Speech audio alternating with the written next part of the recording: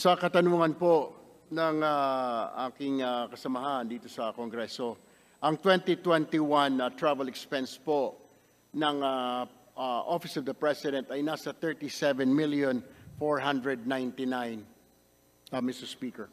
Mr. Speaker, magkano naman ang ginastos for travel noong 2022, last year? Ang 2022 po ay umakyat sa 398 million 307, ah, Mr. Speaker. With that, Mr. Speaker, grabe, more than 10 times ang ginastos sa mga biyahe last year.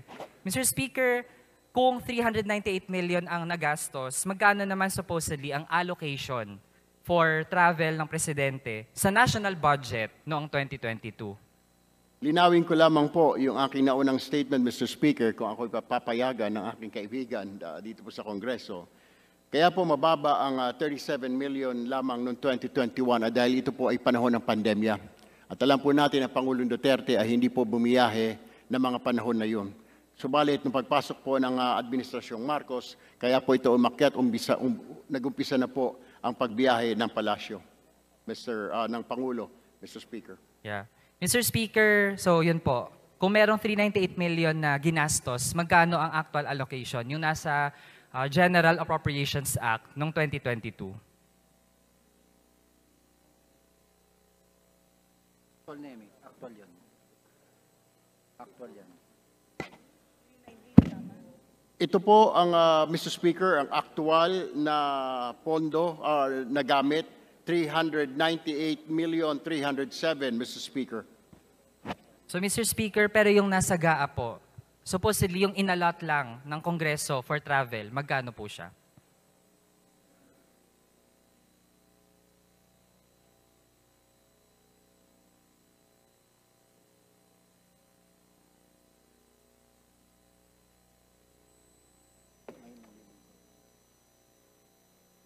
Mr. Speaker, sana po hindi mabawas sa time ko ang ah, na consume sa 114. pag-confer po na ating sponsor.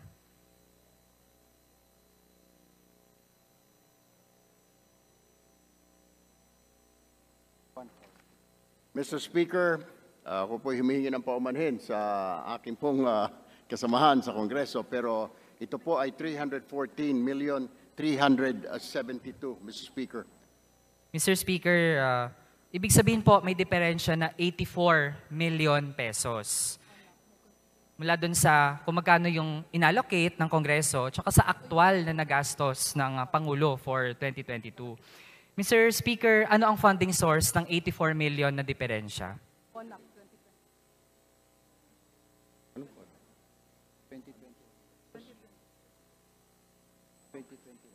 Ang ah, source po noon, ginong Speaker, ay continuing appropriations, ah, Mr. Speaker. Mr. Speaker, hindi po ba ito galing sa contingent fund? Mr. Speaker, hindi po ito galing sa contingent fund. Okay, Mr. Speaker, for 2023 naman, magkano ang allocation for travel? Ang actual po na naibigay, uh, na gastos po ng Office of the President ay 670 million 644. Mr. Speaker, so far, kung merong 671 million for the whole year 2023, magkano na doon ang nagastos na ng Pangulo?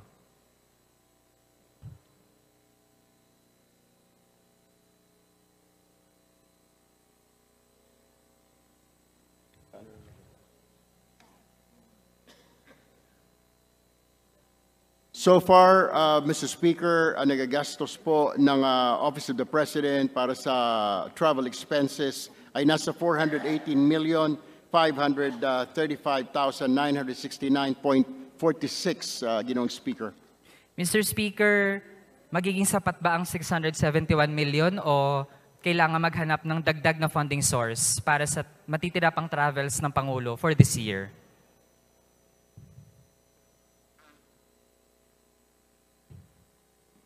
Mr. Speaker, may CONAP uh, for 2022.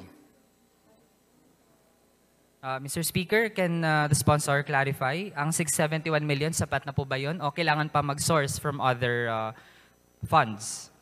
Ito po, uh, Mr. Speaker, ay sapat na dahil kung titingnan ho, ngayon ay uh, nasa Oktubre na ho tayo and uh, wala na po mga mukhang ah, ah, ang ah, travel ng Pangulo ay limited na sa mga panahon po na ito, Mr. Speaker.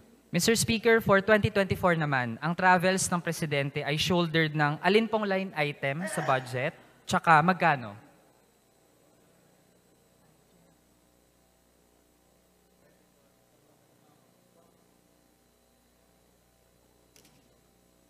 Maaari po bang, ah, Mr. Speaker, pakiulit ng ah, tanong? Mr. Speaker, for 2024, aling line item po ang pagkukunan ng pangbiyahe ng Pangulo at magkano ang allocated? For 2024, ang proposed po ay uh, 1,148,424,000, Mr. Speaker. Ibig sabihin, Mr. Speaker, from 2022, 398 million, 2023, 671 million. For 2024, around 1.15 billion pesos, Mr. Speaker. Almost doble pa iyan ang travel budget ng Pangulo sa taong ito, Mr. Speaker. Magiging doble ba ang bilang ng trips o doble ang bilang ng mga sasama? Mr. Speaker, balak ba ng Pangulo na pumunta sa Formula 1 sa Singapore sa 2024? Ang ah, 2024 po, ang propose, ito po ay propose pa lamang at ito po ay request pa lamang. Ina-anticipate po na marami pong magiging biyahe ang Pangulo para po ah, makahikayat pa ng mga investor, ah, Mr. Speaker. Mr. Speaker, kasi yung sa Formula 1 po, if ever, shouldered na naman ng taong bayan. Kaya po, we'd like to know in advance, Mr. Speaker, pupunta po ba sa susunod na taon sa Formula 1 sa Singapore ang Pangulo?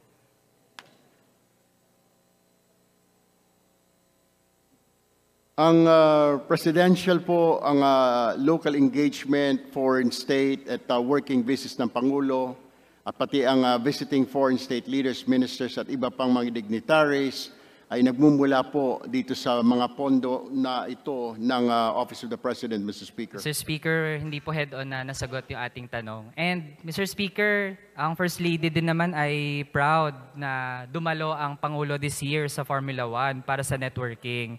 So kung proud po ang Office of the President, eh di dapat po hindi ikahiya kung dadalo ang Pangulo sa Formula 1 sa 2024.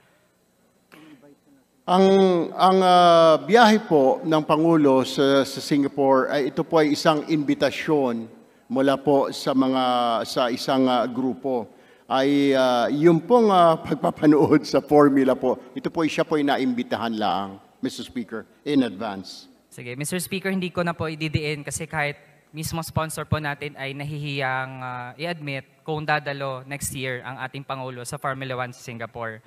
Mr. Speaker, i-assess po natin ang foreign trips. Ah, ang daming travels noong second half ng 2022. Para matasa po ng tama ang epekto ng foreign travels, we'd like to ask, gaano kalaki na ang ating foreign direct investments for the first half of 2023? Bago ko po sagutin yan Mr. Speaker ang kanyang tanong babalikan ko mu- muna yung tanong po ng aking ah, kaibigan. Ah, yung hinggil po sa Formula 1, ito po ay upon invitation. So hindi po natin sigurado kung may mga invitations pong darating sa Pangulo next year at kung meron po siya mga invitations for a meeting, yun naman po ay sinabay lamang. Nauna po kasi yung invitation para po dun sa business conference meeting sa Singapore at yung ah, ah, Formula 1 na racing naman po, yun po naman ay sideline lang ho dahil siya po ay naimbitahan, nabigyan po ng ticket, Mr. Speaker, as far as I know, Mr. Speaker. Yeah.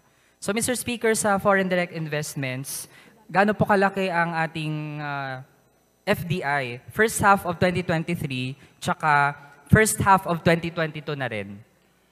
Sa first half of 2023, Mr. Speaker, ay ah, meron ng 71.78 billion ah, pesos na investments, or dollars, 71.78 billion dollars, Mr. Speaker. First half po ito of 2023, Mr. Speaker. Total po yan, ah, Mr. Speaker. Pero sa first half lang po ng 2023, Mr. Speaker.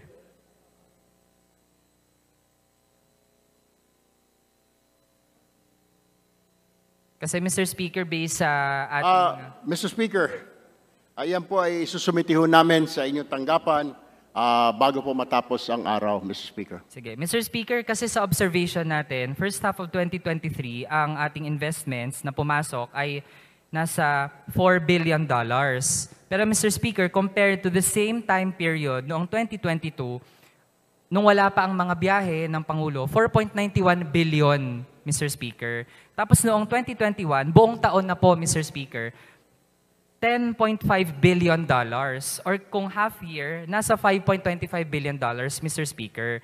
Kaya mas malaki pa ang rate ng pagpasok ng investments sa bansa noong emergency pa ang pandemic kumpara ngayon Mr. Speaker. Kahit na biyahe ng biyahe ang Pangulo. Kaya this implies hindi naman pag-attract ng FDIs ang pangunahing dahilan bakit biyahe ng biyahe ang Malacanang. Nababaon sa utang ang mga Pilipino sa dagdag na gastos. Kaya the Filipino people should not pay for the revenge travel of our top officials, Mr. Speaker.